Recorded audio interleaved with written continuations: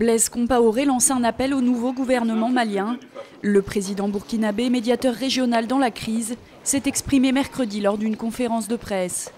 Il demande au Premier ministre tout juste nommé d'œuvrer au processus de paix pour trouver une solution au conflit.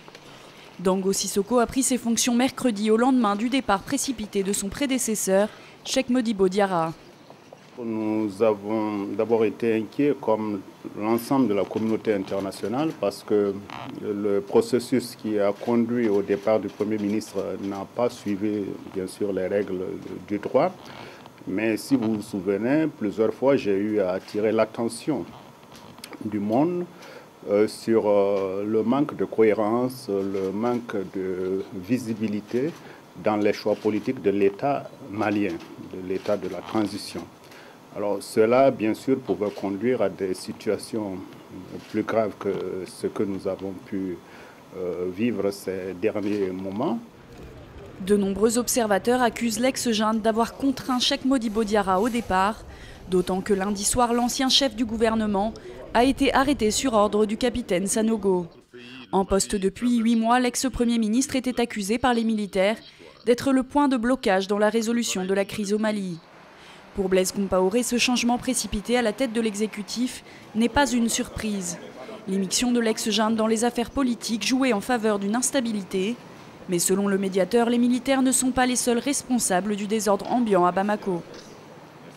Ce qui a manqué au Mali, c'est que très tôt, il fallait que le président Djankunda prenne en charge la gestion des affaires de l'État conformément à la Constitution à partir du moment où nous n'avions pas senti déjà à l'époque euh, que cette détermination, cet engagement était réel, il était certain que ça ouvrait la voie à des dérives, à des débordements, comme nous avons vu avec ces militaires qui ont été donc, euh, je crois, pour arrêter le, le Premier ministre.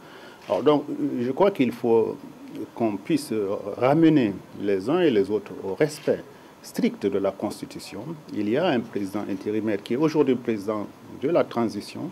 C'est lui qui doit être le chef aujourd'hui au Mali. Principale mission de Blaise Compaoré, mettre en place les modalités d'un dialogue intermalien. À Ouagadougou, le chef de l'État joue les intermédiaires entre les acteurs politiques et certains groupes armés qui contrôlent le nord du pays.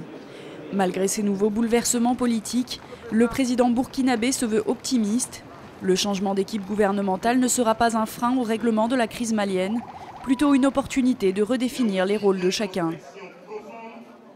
Je dois dire que les contacts que nous avons toujours eus avec le président Djankunda indiquent que le président malien est entièrement disposé à travailler avec nous sur le processus de paix que nous conduisons. Donc je ne pense pas que nous allons avoir euh, des difficultés particulières. Euh, je euh, me dis que ce qui était difficile pour nous, c'est de ne pas savoir avec qui discuter à Bamako.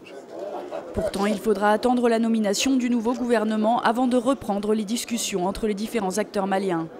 Ce changement politique pourrait bouleverser le calendrier, et ce alors que le Conseil de sécurité doit se prononcer dans les prochaines semaines sur le plan d'intervention militaire dans le nord du Mali.